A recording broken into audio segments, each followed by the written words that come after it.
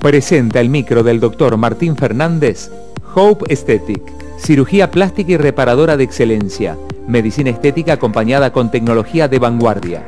Avenida España 799, Clínica Modelo. Muy bien, le damos la bienvenida al doctor Martín Fernández. ¿Cómo estás, Doc? Bienvenido Informadísimas. Hola, ¿qué tal? ¿Cómo estás? ¿Bien? Muy bien. Bueno, y ayer, el micro de ayer, este, que arrancaron hablando de prótesis mamarias, tuvo la verdad una gran repercusión, así que hoy decidimos continuar con el tema porque eh, a esto de decidirse, de ponerse una prótesis mamaria, como bien explicabas vos, se le suma la tecnología eh, aplicada a la ciencia. Sí, así es, como bien decís, Cecilia, eh, el, tema tecnológico va ganando lugar en la medicina eh, en, varios, en varios aspectos, en varios temas, y la simulación es algo que nos permite tener una herramienta educativa para poder mostrarle al paciente eh, cómo podría llegar a quedar para que trate de tomar la mejor decisión. Bueno, eso la verdad que es un detalle más que importante e interesante que no es común, no todo el mundo tiene la posibilidad este, de brindar esa herramienta informática que, es muy costosa, pero que te da una gran este, tranquilidad, porque una mujer se decide a ponerse bueno, una prótesis mamaria y ahí supongo debe empezar el tema de eh, cuánto será mucho, será poco. Eh, ahí intervendrá también la mirada eh, del doctor, tu mirada mm, de acuerdo a la profesión, a lo que se dedique, eso también se tiene en cuenta, ¿verdad? Sí, así que como bien decís, lo importante es ver eh, la contextura de la persona, los tejidos y, sacarse un poco de la cabeza el tema de que porque a mi amiga le pusieron 3.50 y le pareció poco, yo me voy a poner 3.75, por ejemplo, que es algo muy habitual que sucede. Eh, la base mamaria normal de cada persona tiene una medida diferente entre, entre los individuos y hay que tratar de respetar esos límites para no transgredirlos. Obviamente que hay casos, todos lo vemos en la televisión, de personas que son exuberantes, que tienen prótesis muy grandes, que sobrepasan los límites mamarios eh, normales. Nosotros tenemos la, facultad de poder transgredir esos límites, de crear nuevos espacios, pero todo eso tiene un costo, así que por ahí lo que no, se dice que es que después la mama se cae más rápido, o hay más dolores, o se juntan las mamas en el medio, o molesta la mama en la parte externa y no permite que uno pueda mover los brazos normalmente, eh, o puede traer problemas en la lactancia o con la sensibilidad. Bueno, hay un montón de cosas que suceden cuando se transgreden los límites normales de la mama que tenemos nosotros constitucionalmente. Claro, y además, Doc, esto que, bueno, las modas también van cambiando. Hoy la medicina estética apunta a algo absolutamente natural, a un cuerpo armonioso, eh, y, bueno, a eso va apuntado también, ¿verdad?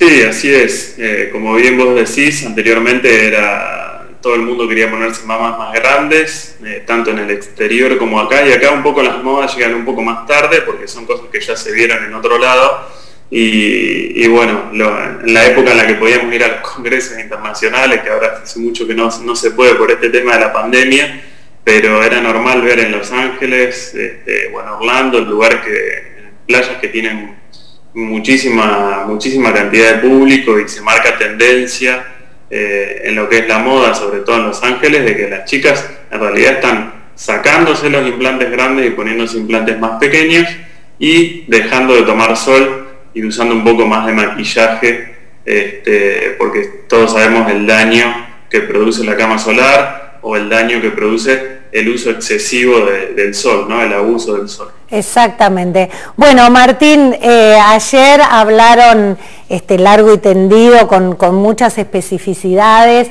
de lo que es la operación, los distintos tipos de prótesis, pero hoy estamos intrigados en conocer esta aparatología de última generación que es simular O sea, la paciente va al consultorio y puede ver cómo, cómo quedaría con ese implante mamario, ¿es así?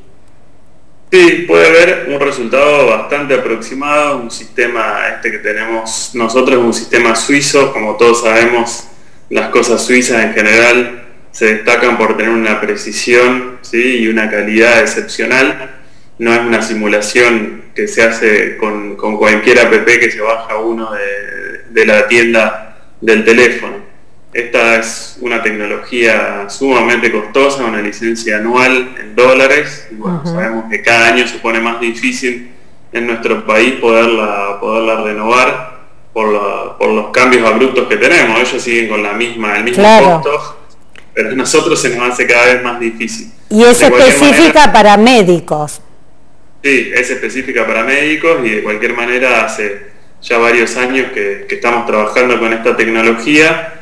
Eh, tal vez no lo hacíamos demasiado público porque no es nuestra intención que nos elijan por la tecnología, eh, sino que nos elijan por, nuestro trabajo. Pero bueno, la tecnología suma y un poco también es dar a conocer esta herramienta, eh, por lo menos para que las personas sepan que existe. Hoy ya no hay que someterse directamente a una cirugía plástica sin poder eh, tener una imagen de un resultado aproximado de lo que uno podría lograr. Y sirve mucho para estos casos que hablamos ayer.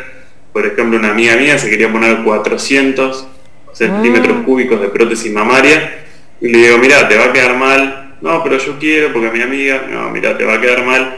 Y gracias a esta tecnología le pude mostrar que las 400 quedarían realmente muy mal, un resultado muy grotesco. Muy grotesco terminó poniéndose 250 y está súper feliz. Esa es una chica que trabaja mucho con, su cuerpo, con distintas marcas, que hace publicidades y demás, y está súper, súper feliz porque le mejoró muchísimo, le mejoró muchísimo.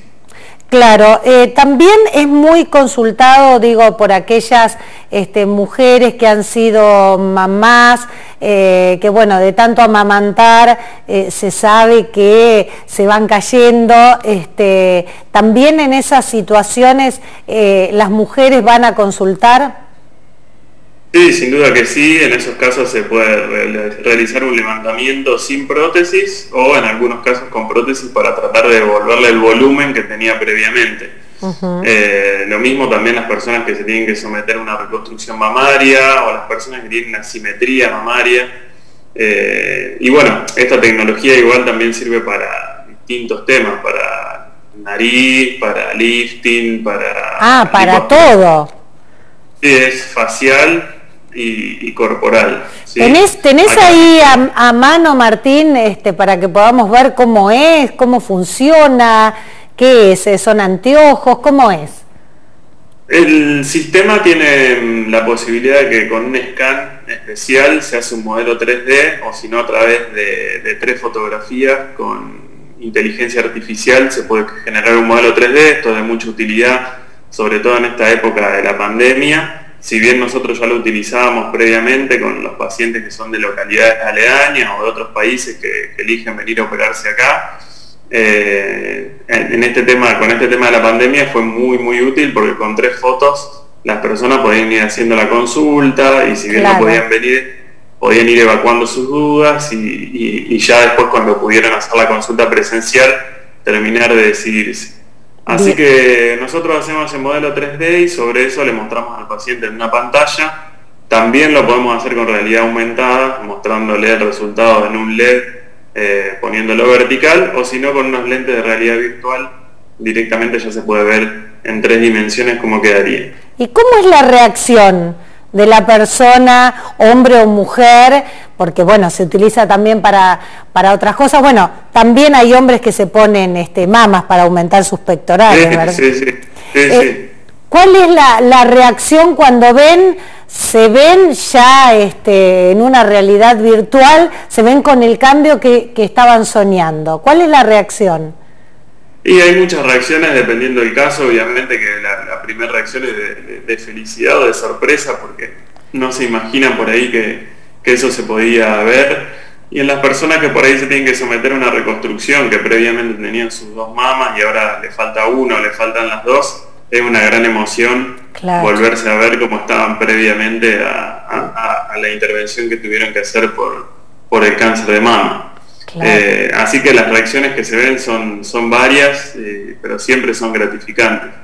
Qué bueno, qué bueno. ¿Qué es lo que más este, consultan a, la hora de, realizar la realidad eh, virtual, utilizar este sistema que es fantástico, como vos bien decías, bueno, en la clínica y Tandil se ha hecho un centro este, de medicina estética muy, muy interesante. Antes, desde Tandil se iba a otros lugares y ahora eligen la ciudad de Tandil para venir a hacerse una intervención. Em, ¿Qué es lo que piden para, para verse en esa realidad 3D? Lo que más se pide por una cuestión estadística es el tema mamario y después a nivel facial el tema de los párpados o el tema de nariz, eh, a nivel corporal el tema de lipoaspiración, estamos dentro de lo que son las estadísticas mundiales. Y como vos bien decís, Tandil, con todos estos años que ha tenido de, crecimiento de la salud pública, el sistema integrado de salud, eh, han mejorado muchísimo los centros de internación privados, eh, Tandil se está convirtiendo en un polo para lo que es el turismo médico y tecnológico con todo este tema de las empresas de software y demás que hay acá en Tandil, muy importante y eso hace que hay muchísima gente que elige venir a pasarse unos días en una cabaña, realizarse la intervención y volver a su lugar de origen este, ya con el cambio hecho y, descansado. Tandil tiene tantas cosas por ofrecer eh, como los mejores lugares del mundo, porque hay gente que, no sé, que ha estado en Suiza y de pronto está acá en las sierras y la verdad que me parece increíble también. Eh, para nosotros que lo vemos todos los días nos parece que es una exageración, pero realmente disfrutan muchísimo ese tipo de experiencia. Claro, sin dudas. Eh, la verdad que, muy, muy elegido nuestra ciudad. Eh, bueno, Martín, eh, no sé si querés alguna otra, alguna otra consulta, porque sé que ayer el micro despertó una una gran este, expectativa, mucha gente consultando, que ahora ha cambiado. Antes una intervención llevaba más días, más días de internación, de recuperación. Hoy ha avanzado todo de una manera a favor del paciente. Sí, sí, sí, hoy son muchísimo menos invasivas las, las cirugías y generalmente se realizan de manera ambulatoria este, así que el paciente en el mismo día ya se está, ya se está yendo. Si querés, te comparto pantalla como para que puedas ver cómo es la plataforma que utilizamos y poder compartir alguna imagen de, cómo es la Buenísimo, buenísimo, buenísimo para poder ver, bueno, va una persona, hombre o mujer, para ver lo que este, pueda o, quiera realizarse, pero por ahí está con alguna duda y bueno, siempre está bueno, mm, gracias a esta tecnología, que realmente es tecnología de punta, este, bueno, ver el antes y el después. Lo vamos a compartir, ahí nos está compartiendo el doctor. Este, mm, Martín, contanos. Bueno, ahí están pudiendo ver la pantalla, ¿verdad? Se ve perfecto. Bueno, acá tenemos eh, sobre el lado izquierdo de la pantalla, ustedes van a ver la previa del paciente. Lo podemos ver de un lado o del otro. Claro. Desde ah. arriba, el escote o de manera oblicua, ¿sí?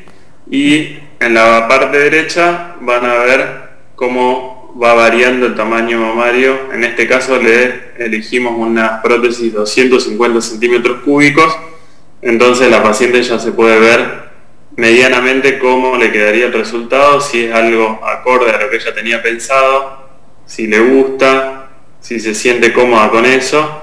Y bueno, en base a eso podemos este, ya programar la, cirugía. Creo que una, una de las preguntas siempre es, y no sé cómo me va a quedar ese, ese dilema, ¿no? Claro, acá lo que vamos a hacer es un ensayo de pasar a una prótesis más exagerada, más grande, para que vean por ahí lo feo que queda, eh, cuando por ahí vienen y piden prótesis muy, muy grandes. Claro. Eh, ahí ponemos una 425 y podemos ver lo feo que queda, ¿no? Claro. Que queda extremadamente grande, exagerado. Bien. Nada que ver con la otra que conservamos del tamaño de 250 que queda muchísimo más natural. ¿sí? Exactamente, qué bueno, la verdad, tener este, a disposición esta tecnología, eh, la verdad es, es todo, todo un mérito que siempre en beneficio del paciente, ¿no? La verdad que es fantástico esto. Así es, esta tecnología se denomina Chrysalix, como le dije, un software suizo y bueno, también podemos hacer la impresión 3D del modelo. Eh, cada cosa que queremos trabajar la podemos documentar, la podemos grabar, la podemos compartir con el paciente para que el paciente también este, la pueda compartir con sus amistades, con su familia. Claro. Eh, a veces también hay decisiones que por ahí se toman, se toman en conjunto, ¿no? Sí, Así que bueno, con esto espero haberles ilustrado un poco de qué se trataba este sistema, saber que contamos acá en Tandil con él y, bueno, que sepan que es una alternativa más de, de todas las que hay en el mercado como para como para poder tener una idea de lo que es la simulación. Sí, la verdad, esto es lo último, de última generación. Martín, te agradecemos muchísimo, como siempre, este contacto y bueno, te agradecemos que nos vayas contando todo lo de lo nuevo, la nueva tecnología, que no solo es estética, sino también tiene que ver en muchos casos con este, enfermedades que después terminan dando como siempre, bueno, mucho placer y bienestar a la persona que, lo ha sufrido, ¿verdad? Bueno, muchísimas gracias Cecilia, gracias a todo el equipo por el esfuerzo para que podamos este, brindar una buena transmisión. Saludos. Muy bien. Te, vamos al cierre, si ustedes tienen alguna duda o alguna consulta, ahí van todos los datos. Presentó el micro del doctor Martín Fernández, Hope Aesthetic. Cirugía plástica y reparadora de excelencia. Medicina estética acompañada con tecnología de vanguardia. Avenida España 799, Clínica Modelo.